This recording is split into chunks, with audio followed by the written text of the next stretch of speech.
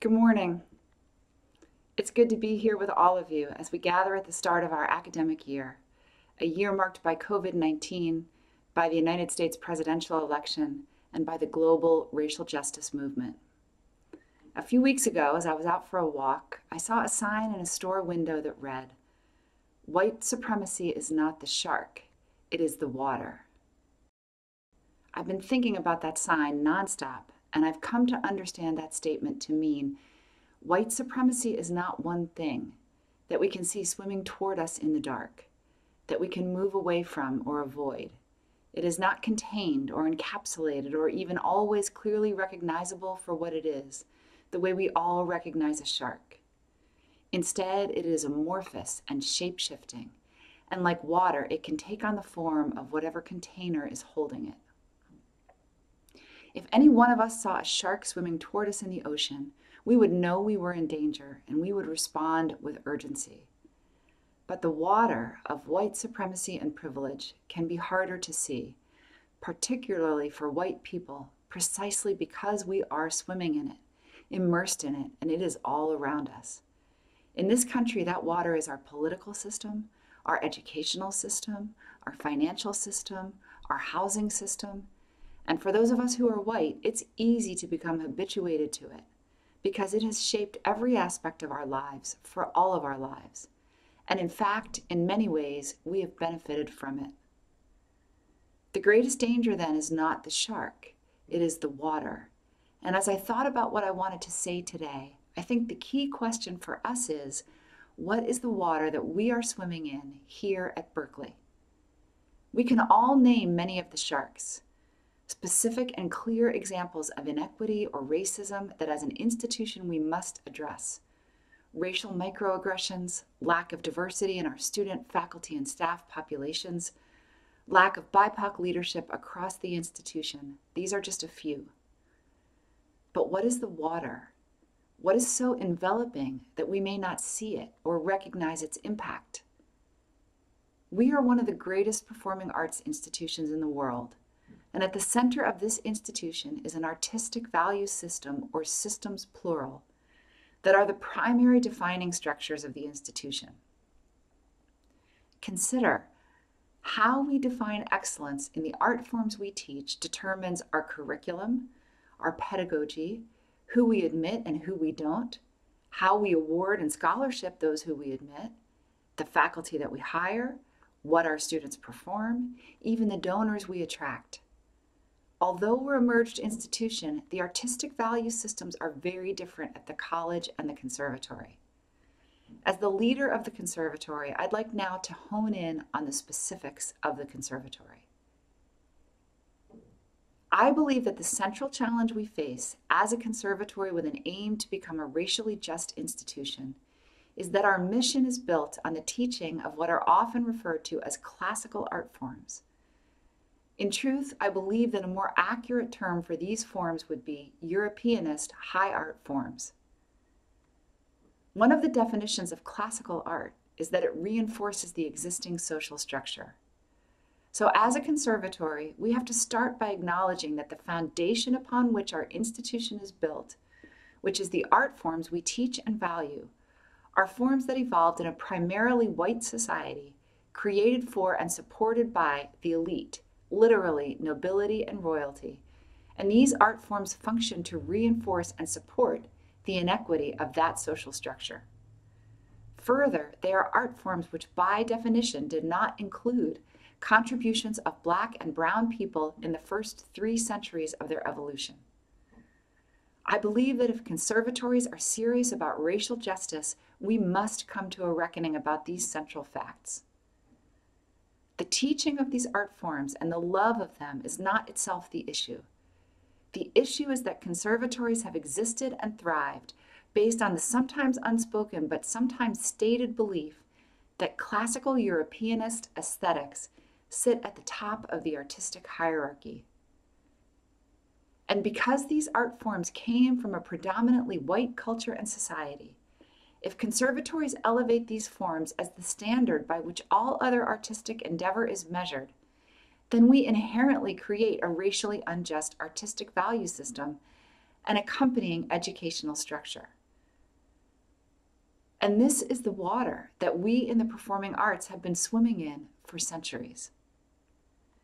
To be clear, this does not diminish the beauty or power of these art forms, and I'm absolutely not suggesting that we should stop teaching them. But I am suggesting that we disentangle the art forms themselves symphonic music, ballet, opera, etc., from the value systems in which they are embedded. We must challenge ourselves to examine the racial bias that is built into the conservatory model, not just this conservatory, but all conservatories, and in doing so, seek to understand and meaningfully address some of the root causes for conservatories to remain primarily white spaces, and spaces in which Black faculty, staff, and students consistently report that they do not feel supported, welcomed, or valued. For example, let's think about that word, classical. Most conservatories do not say in their marketing materials, come study here, we teach white Europeanist aesthetics. No, they say, come here to study classical music or dance or theater, with the implicit understanding that classical means Europeanist. So classical training, which many students interpret as the unassailable foundation of virtuosity and skill, the very pinnacle of artistic excellence, is therefore defined as white and European. Another interesting word is technique. We assess students who apply to our school based on their technique, but what do we mean by this word? Let's use dance as an example. In the field of dance, the word technique is often understood to mean the particular way of training the body that prepares the dancer for ballet, the Europeanist high art form. Now, the truth is, and I'm sure this is obvious, there is technique and a skill set required for every form of dance.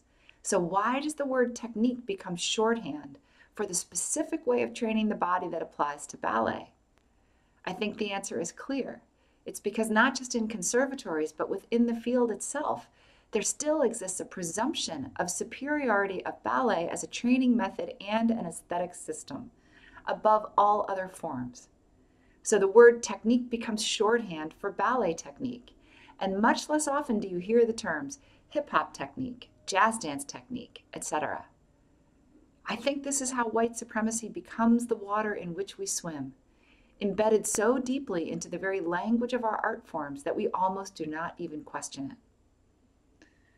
As long as we continue to use this language, we support belief systems about quality and virtuosity, about what defines technique, what is the quote classical canon, and in doing so, we elevate one particular aesthetic value system and arguably devalue all others we create a hierarchy that places white European art forms at the top. So, what do we do?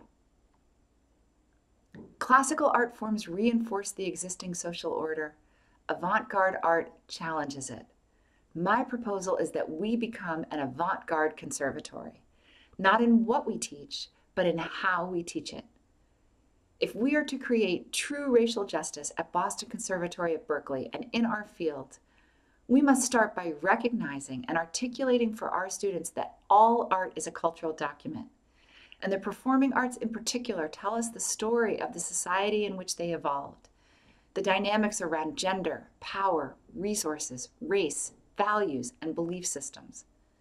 That what we call classical music, dance, and theater are in fact European classical forms, that every culture has classical art forms, and that Europeanist aesthetics are not inherently superior to any other art form, whether it is vernacular or folk or avant garde or classical from any other culture. To truly address systemic racism in our institution, we need to do three things. One, dismantle the value system that surrounds European classical forms. It does not mean we stop teaching them or that we stop loving or valuing those forms but it does mean we bring them down off the pedestal of artistic superiority that implies that somehow these forms are of greater value or that practitioners of these forms have greater skill and more technique than other art forms. Two, recognize and name the structural racism that is embedded in conservatories and in what we refer to as classical, but which is actually Europeanist music, dance, and theater. Recognize that the value systems that still exist in many corners of the performing arts today, and which place European classicism in an exalted position, are relics of white privilege, and be willing to give up that white privilege. And three, deal with the sharks through education and training, hiring practices, admissions practices, curricular change, performance programming, and all of the other initiatives that will create change here. We're at a historic turning point, a watershed moment, if you will, where there are perspectives and voices casting a new light on the inequities of the system we've been swimming in, guiding us toward new waters, toward a more just campus and world. I look forward to navigating these new waters together. Thank you.